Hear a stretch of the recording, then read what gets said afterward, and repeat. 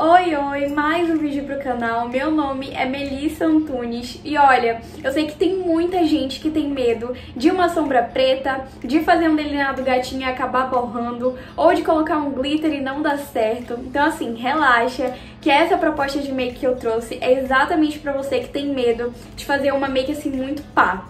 Então, essa make clean, ela é ótima pro dia, muito fácil de fazer e como vocês estão vendo, fica bem bonita, bem natural. Então chega de enrolação, vamos lá pro passo a passo dessa make. Vamos começar essa make, primeiro de tudo, pra gente conseguir ter uma pele boa na hora da maquiagem, a nossa preparação de pele que vai falar tudo. Se você fez uma preparação de pele boa, a sua make vai sair linda, com o rosto incrível, mas se você não fez uma preparação de pele ali realmente focada sabe, na sua pele para cuidar, não vai sair bacana.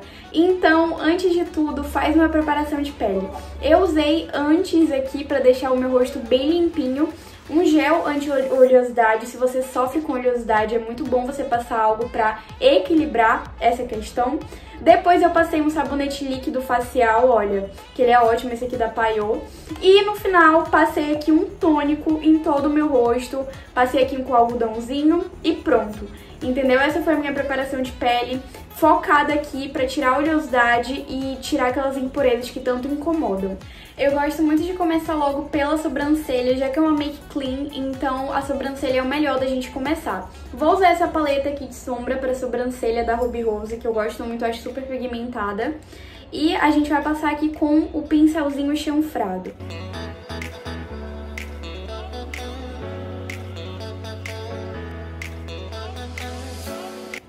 Venho aqui com esse corretivo pastoso, olha, eu uso esses dois tons mais clarinhos aqui pra corrigir a sobrancelha com um pincel chanfrado. Esse aqui eu peguei só pra fazer essa correção da sobrancelha.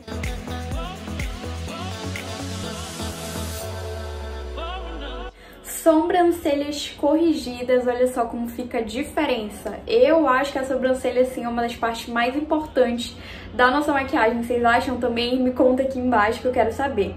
Agora eu venho com um primer, olha só. Esse primer aqui da Ruby Rose, e que eu acho ele bem bacana.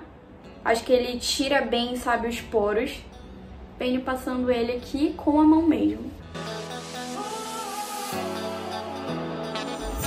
Venho agora com uma base leve, que tem uma cobertura nada pesada, bem leve mesmo. Essa aqui da Vult, eu super indico se você gosta de base com cobertura nada pesada.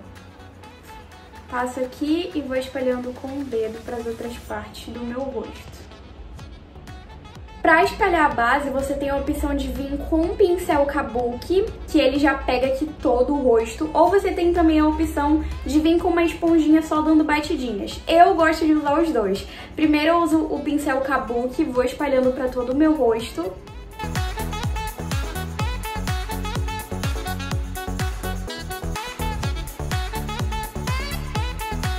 E agora venho aqui, ó, com a esponjinha dando batidinhas só para uniformizar toda a base no rosto. Agora eu venho aqui com um corretivo que ele é um pouco do tom da minha pele, só um pouco mais clarinho, pra gente cobrir essas partes aqui, ó, da olheira, pra iluminar também. Olha só. E a gente vai fazendo assim. Coloca o corretivo desse jeito porque o nosso olhar, ele vai levantar.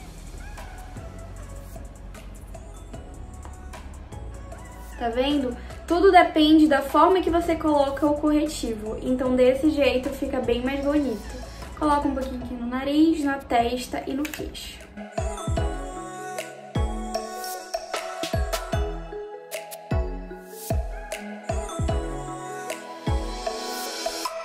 Venho com o pó banana ou pó translúcido, depende do que você gosta de usar. Eu uso sempre o pó banana, acho que fica bem melhor assim por conta da, da cor da minha pele. E venho colocando exatamente onde a gente aplicou o corretivo, com a esponjinha também.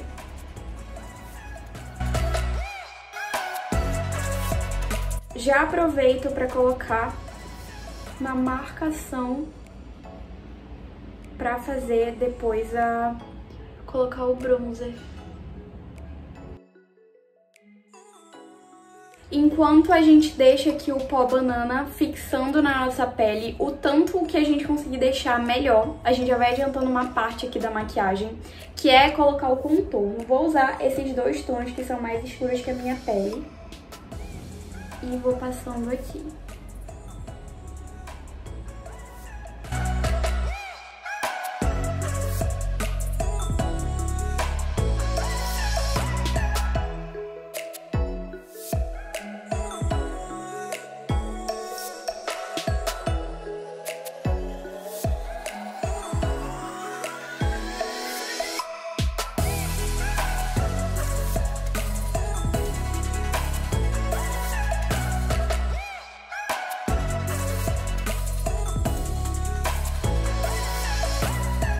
A gente vem agora com um pincel fofão pra varrer toda essa parte, esse excesso de pó que ficou. Aí a gente pega um pó do tom da nossa pele mesmo, o pó que você usa aí, que é do tom da sua pele, e a gente vai varrer tudo isso daqui, olha.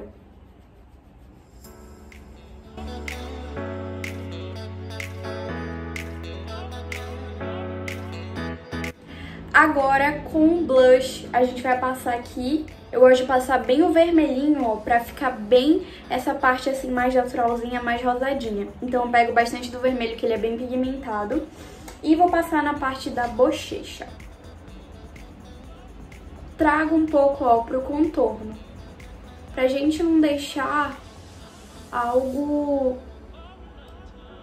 que a gente consiga ver, né?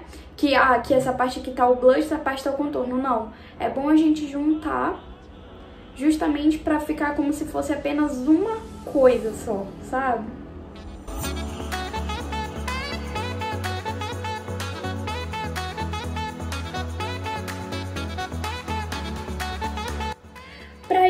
Finalizar a pele com o melhor produto da vida, aquele que dá brilho, é o iluminador. Não pode faltar nessa parte da nossa make clean. Com certeza é o essencial aqui. Vou passar aqui esse iluminador que, nossa, ele é muito cheiroso. Sabe aquele cheiro de chiclete? Dá vontade de comer, gente. Não é brincadeira, não. Passa aqui, ó. Olha, tome iluminador, né? E a gente vai passando nessa parte aqui do ossinho, sabe? Onde a gente passou o contorno.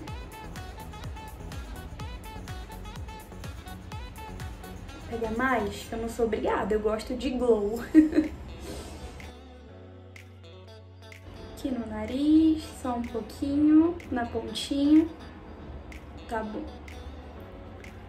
Acima da sobrancelha e no arco do cupido.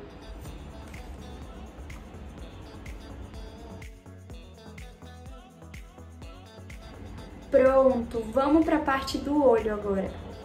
Como eu prometi que essa make seria muito simples de fazer, muito fácil, é, a gente vai usar aqui na parte dos olhos tudo o que a gente usou no rosto, exatamente a parte do contorno, blush e iluminador. Então a gente vai construir primeiro pegando o mesmo bronzer que a gente usou é, para fazer o contorno aqui da nossa pele. Olha só, com um pincel para esfumar, a gente vai passar aqui nos olhos, em toda a pálpebra. Essa parte aqui de usar o pó de contorno dá algo mais dramático para a nossa sombra. Depois a gente vai harmonizar isso tudo.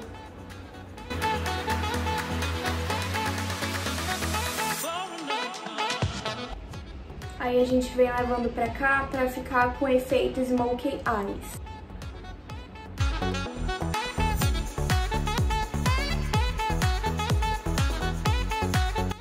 Dado esse efeito mais dramático aqui para os nossos olhos, a gente vem agora com o blush, exatamente. Vai pegar um outro pincel de esfumar e a gente vai misturar tanto rosinha quanto com o vermelhinho. E vai passar no côncavo do nosso olho, olha.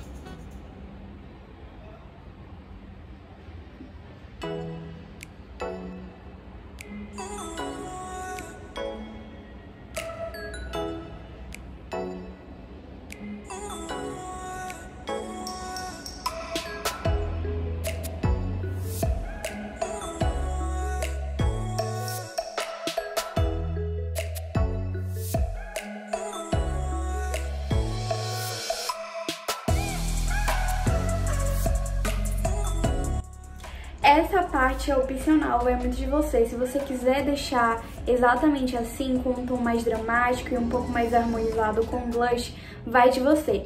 Mas se você quiser usar o iluminador pra colocar aqui, olha, nessa parte, no início do côncavo, vai ficar incrível também. Vou colocar com o dedinho pra dar um brilhinho.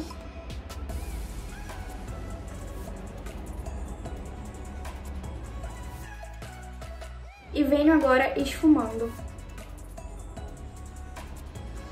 a parte de cima.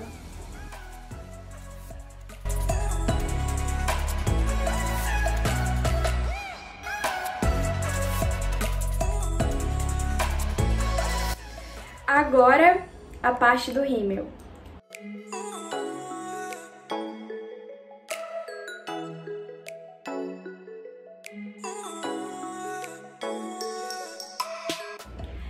Se você quiser, é muito opcional, vai muito de você. Você já pode parar por aqui com a make, só com o rímel mesmo nos olhos.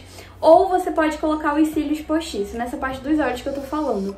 Eu vou colocar aqui um pouco dos cílios postiços, justamente porque, gente, meus cílios são muito pequenos, olha só. Então quase não aparece muito, eu gosto que realmente apareça, sabe? Fique com uma make assim completa. Mas se você gosta assim, tudo bem também.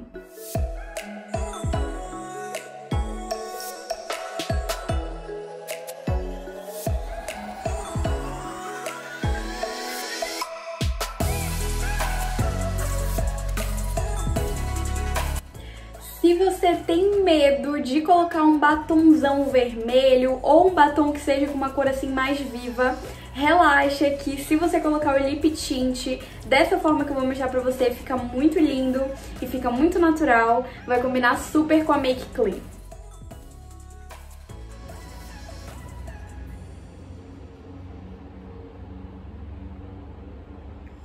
Você vai colocar aqui duas camadas do lip tint na, nos lábios. Fica muito lindo, não tem erro, não tem esse negócio de ficar com medo de errar. E fica como se fosse um batom mesmo. Pra finalizar tudo, a gente vem só com blush pra aumentar os lábios e deixar mais linda essa make ainda. Bem de leve.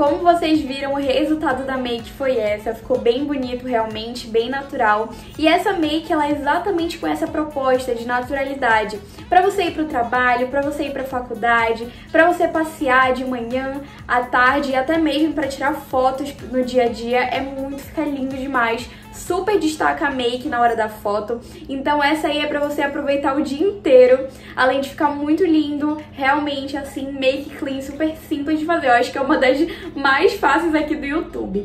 Mas olha, se você gostou desse vídeo, não esquece de dar muito like aí pra eu conseguir alcançar mais pessoas dessa forma. Compartilha essa make com as amigas pra elas verem como é simples de fazer e como fica lindo também. E ativa o sininho de notificação para não perder nenhuma novidade. Se inscreve no meu canal que toda semana tem conteúdo novo por aqui. É isso, beijo e até o próximo vídeo.